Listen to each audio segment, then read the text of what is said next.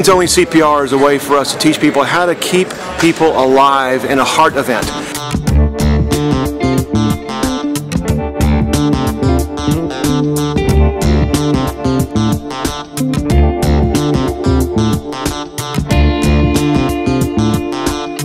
Basic three things we teach is how to do compressions, how to call 911, and how to grab an AED and use it in order to save a life.